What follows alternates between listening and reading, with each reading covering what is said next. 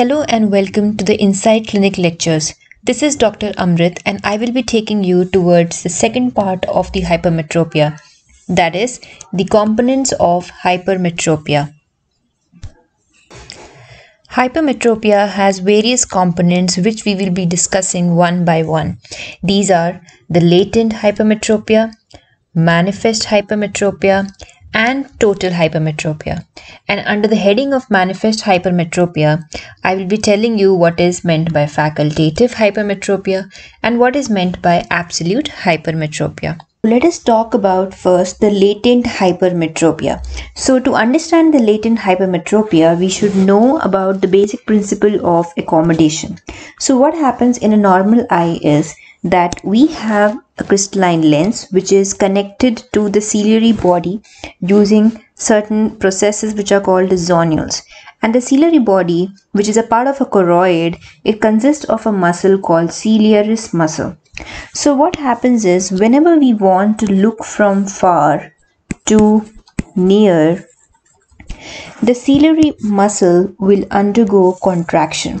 And as the ciliary muscle undergoes contraction the zonules which are connecting the ciliary body to the uh, to the lens will undergo relaxation and they will become lax because of the laxity of the zonules, the and the lens will now be free to move anteriorly. Or, or what I mean to say is the lens can now uh, can bulge forwards, and as the lens bulge forwards, it tends to become somewhat fatter, and therefore the power of the lens will increase and what did I tell you in the previous video? That whenever the power of the lens will increase, it will start focusing the light rays much more forward, much more ahead than what it was focusing before.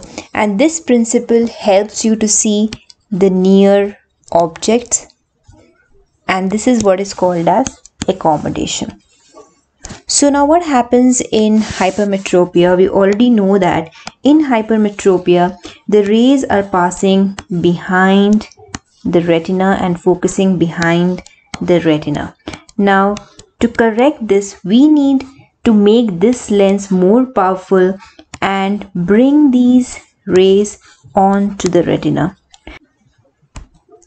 Now, now what happens is that the ciliary muscle, even when we are not accommodating, it tends to maintain a tone okay?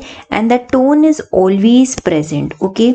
So this tone because it is always present even when we are not doing it voluntary voluntarily what i mean to say say is that even when we are not voluntarily accommodating even then the tone of the ciliary muscle is present and because of the tone of ciliary muscle which is present about plus 1 diopter of hypermetropia is getting corrected okay? Because of the inherent tone of the ciliary muscle.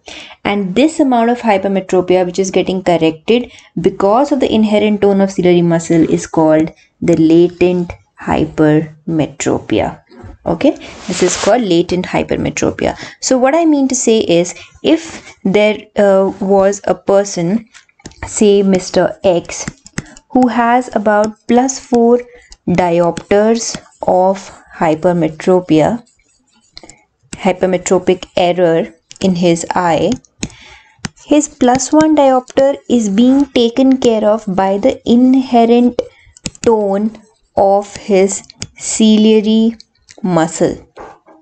That means he need not worry about it okay? The ciliary muscle itself is taking care of it and therefore he is having only plus 3 diopters of hypermetropia that he needs to take care of. And this plus 1 which is being taken care of by the ciliary muscle this is called the latent hypermetropia let me now explain to you what is manifest hypermetropia. If you understood what is latent hypermetropia, I should tell you that the word latent actually means something which is hidden and cannot be known. So what I mean to say is that if our Mr. X who is having about plus 4 diopters of error and this plus 1 diopter was being corrected by what? By the inherent tone of the ciliary muscle and therefore it was the latent error or his hidden error. Okay, so what we saw was actually plus 3 diopter of the hypermetropia. So what hypermetropia we see after doing test, after doing simple refraction is what is called manifest hypermetropia. And the one which is hidden from us because of the hidden activity which is done by the inherent tone of the ciliary muscle is called latent hypermetropia. So you might be asking that how do we find out latent hypermetropia? That is your homework. You have to find it out and let me know in the comment section. So let me talk about now the manifest hypermetropia. Under this manifest hypermetropia that is this plus 3 diopter in our patient mr x it is again divided into two types facultative hypermetropia and absolute hypermetropia. Now what happens is this mr x becomes aware that he has a superpower. He has what is called accommodation. So what does he do? He tries to bring back his rays which were focusing behind the retina onto the retina and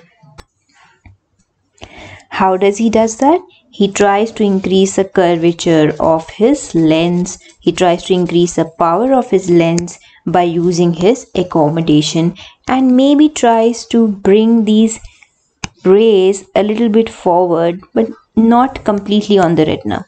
But still he has some success. So this amount of success or the amount of hypermetropia that he corrected using his accommodation use, using his power of accommodation is called facultative hypermetropia. That means he has used his faculty of accommodation. But there is still some amount of hypermetropic error which is residual which is left which he could not correct even after his accommodative effort. And this is called absolute hypermetropia. I hope it is clear now right? And finally we are left with a term called total hypermetropia. So this is big now after this it becomes very easy to understand. Total hypermetropia is nothing but latent hypermetropia plus your manifest hypermetropia.